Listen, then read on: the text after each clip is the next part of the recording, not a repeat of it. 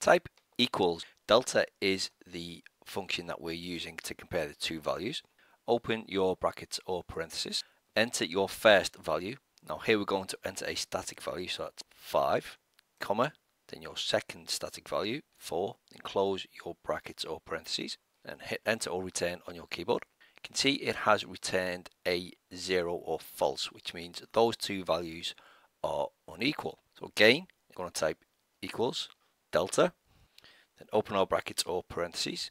Again, we will enter static values, 10, comma, our second value, close our brackets or parentheses, enter return on our keyboard, and it has returned a value of 1, which means those values are equal.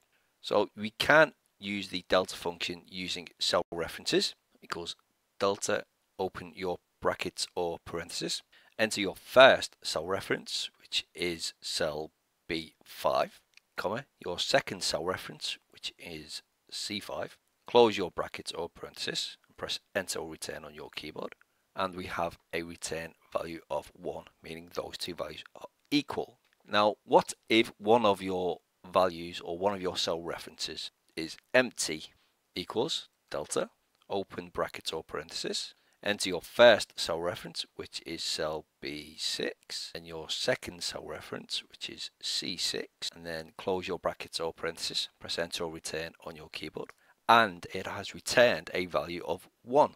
Why is it returned the value of 1? With an empty cell, Excel will assume that value is a 0, and we have an equal value of 1. Thanks for watching. Bye bye.